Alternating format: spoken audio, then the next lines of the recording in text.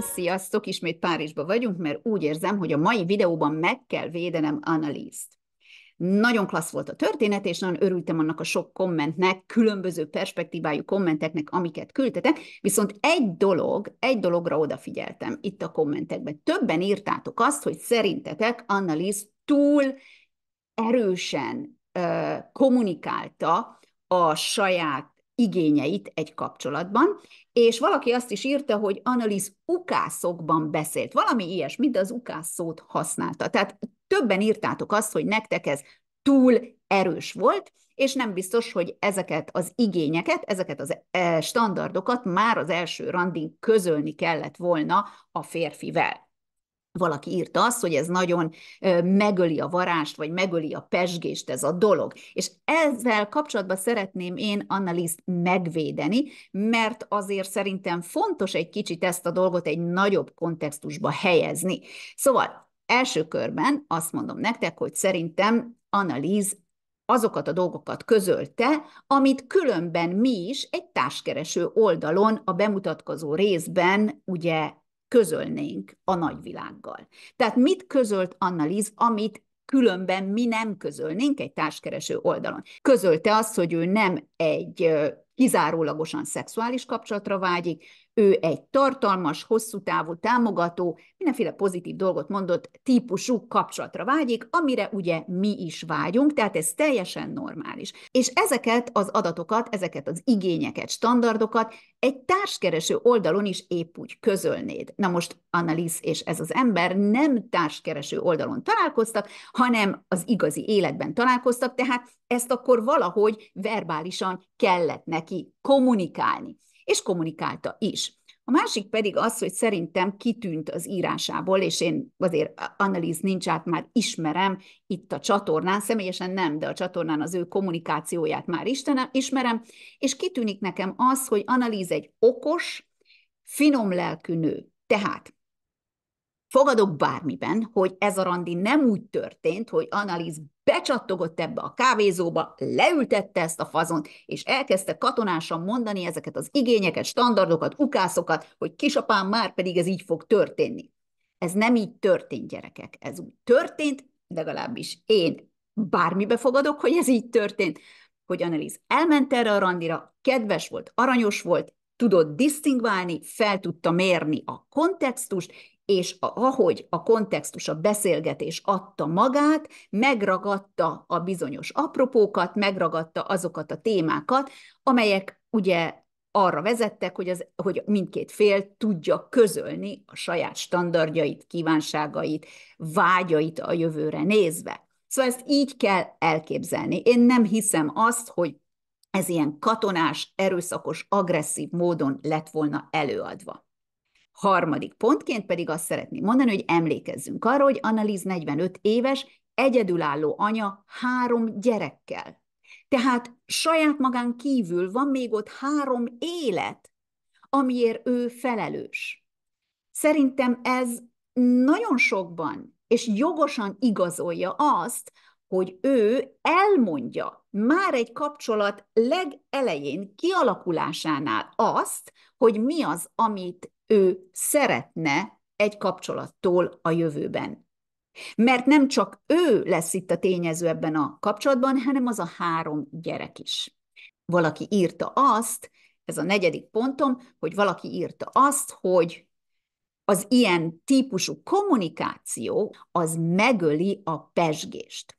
Na most, milyen pesgésről beszélünk ebben a történetben?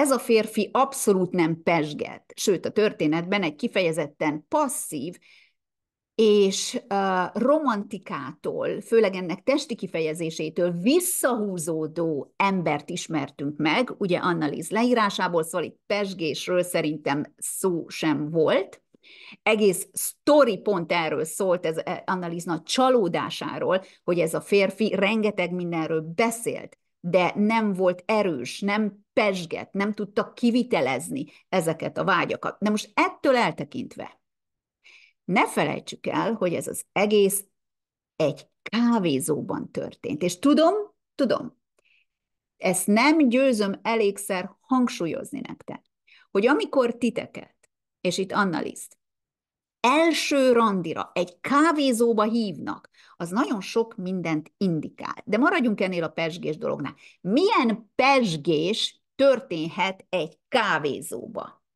Most nem tudjuk, milyen kávézóról van itt szó, de én megint bármibe fogadok, hogy ez nem a New York Cafébe volt ott Pesten, hanem mondjuk egy teljesen középszerű általános kávézóban történt, ahogy Annalíz mondja, egy kisebb városban Magyarországon, szóval olyan nagy pesgésre ne várjunk. És amikor téged egy kávézóba hív ki valaki randira, az szerintem már mutatja, indikálja azt, hogy ez nem egy romantikus nyitás hanem nagy valószínűséggel ez az ember téged rostálni szeretne, meg akarja nézni azt, hogy érdemes-e ugye a jövőben beléd investálni többet, több energiát, több szervezést, több figyelmet, stb., és mind, ami ezzel jár.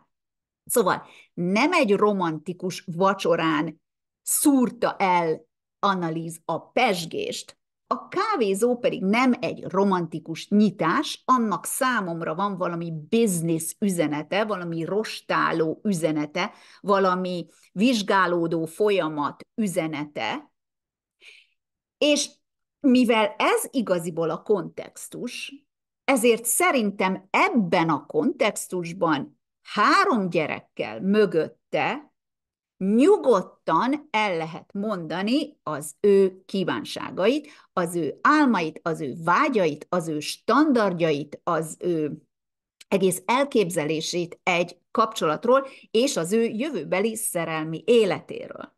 Nagyon fontos, hogy a kontextus nézzük. Minden eset más, és minden esetnek van egy tágabb kontextusa. Na most a videóban miközben olvastam a sztorit, én is mondtam nektek, hogy mi nők lehetünk kicsit misztikusabbak, kicsit titokzatosabbak, és én ezt általában igen, ezt mondom, preferálom.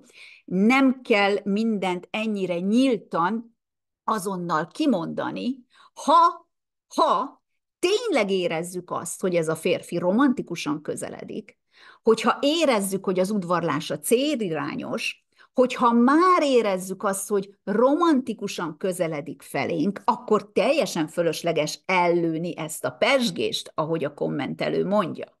De itt nem erről volt szó. Itt nem egy romantikus közeledést mutatott ez az ember, sem mint első randi, és sem a későbbiekben sajnos, hanem itt egy kávézóban történő találkozásról volt szó, ami már csak azért is még jobban meglepett engem, mert Annalise sztoria szerint ez az ember már többször látta Annalise a ligetben, a parkban, a városban, sőt, már Annalise social media felületén elkezdte szívecskézni, elkezdte lájkolgatni is, tehát az ember ilyenkor azt hinné, hogy már célirányosabban fog ez az ember udvarolni. De nem célirányosan udvarolt, hanem meghívta Annalise egy kávézóba. És ez az egész egy kávézóban történt, ahol két felnőtt találkozott, és analíz, ugye nem adhatod oda egy írásos felületet, mint ahogy egy társkereső oldalon megtesszük, hogy így gondolok én el egy kapcsolatot, és ezek az én standardja, standardjaim, ezek az én kívánságaim a jövőre nézve, hanem szemtől szembe ezt valahogy közölni kellett. Konklúzióm az az, hogyha teljesen biztosak vagyunk abban, hogy ez az ember egy férfi célirányosan, romantikusan udvarol nekünk, és ezt ki is fejezi az első randin, tehát, hogy érzed azt, hogy ez célirányos, és hogy nagyon tetszel neki, és hogy tényleg meg akar ismerni, és mindenféle szervezést és kelléket ez az ember behoz ebbe a képbe, az azért, hogy ezt bizonyítsa, akkor is el lehet mondani, akkor is el lehet mondani a mi kívánságainkat és standardjainkat a jövőre nézve, de ugye nagyon kell vigyázni, hogy ne öljük meg a pesgést, hiszen elfogadtuk a meghívást, tudván, hogy ez egy romantikus közeledés, gondolom azért fogadtuk el a meghívást, mert minket is érdekel ez az ember romantikus szempontból is. Ha viszont úgy gondolod, hogy ez a férfi nem uh, úgy kreálta ezt a szituációt, hogy kifejezze azt, hogy tényleg tetszel neki, és hogy ez egy romantikus közeledés, és hogy téged csodál, és hogy meg akar ismerni, és hogy közeledni szeretné, és hogy te fontos vagy neki, és neki te kell lesz, hogy téged akar megismerni, és szeretne egy sanszot veled, szeretne egy lehetőséget veled, akkor milyen pesgésről beszélünk? Akkor az egy business meeting, amiben nyugodtan el lehet mondani azt, hogy te hogy gondolod a saját szerelmi életedet a jövőre nézve. Valaki azt is mondta, hogy ez a fajta direkt kommunikáció, tehát ez a fajta közvetlen kommunikáció és asszertív kommunikáció elriasztó, elriasztó egy férfinek. Én pedig azt mondom, hogy ha ez a férfi már célirányosan téged akar, megismerni, veled akar egy sanszot, veled akar egy esélyt, és te azt mondod, hogy én, mint nő, én szeretnék egy tartalmas, támogató, hosszú távú kapcsolatot, akkor ennek a férfinek ez, amit te mondasz, ez egy nagyon pozitív üzenet, hiszen téged akar. Tehát akkor neki ez nagyon pozitív üzenet kell, hogy legyen, hogy egy hullámhosszon vagytok. Hogyha ettől ő elriad, akkor nem ugyanazt akarja, amit te. Akkor meg menjen. Akkor meg fölösleges ez a férfi a te életedbe, mert úgyis csak egy szív fájdalomba fog a kapcsolat végződni. Tehát aki attól elriad, hogy te azt mondod, hogy te egy tartalmas, hosszú távú, támogató kapcsolatot szeretnél, az már most menjen, az már most elmehet, riadjon akkor el. A másik pedig, Dréki, te mondtad azt, hogy miért hallgatott Annalíza barátnőjére, amikor a barátnője elmondta Annalíznek, hogy nem csak egy nő volt a házasságon kívül ennek a férfinek, hanem a munkahelyén is volt valami mini affér, amiben ő belekeveredett egy másik nővel, tehát egy harmadik nővel. És um, megkérdezte Dréki, vagyis hát sérelmezted, vagy kifogásoltad azt, hogy Annalíz miért hallgatott erre a barátnőre. Emlékezzünk a sztorira. Nem ez miatt tört meg a kapcsolat. Ez már csak a habatortán volt.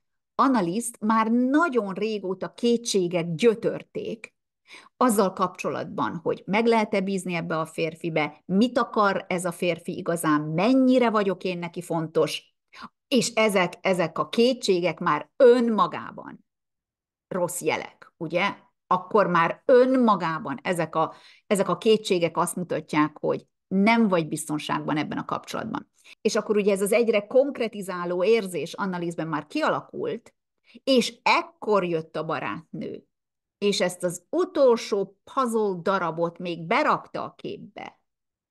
De nem ez miatt szakadt meg a kapcsolat, hanem ez csak mind az utolsó szeg volt ennek a kapcsolatnak a koporsójában, ez volt a habatortán, ami segítette Annaliszt abban, hogy klik az agyába, klikkeljen valami, és azt mondja, eljött az idő. Ez az információ, ez volt az utolsó információ, ami nekem kellett, amire szükségem volt ahhoz, hogy a kép kerek legyen az én fejemben, és hogy most már magabiztosan tudjam állítani azt, hogy ez a férfi nem az én emberem.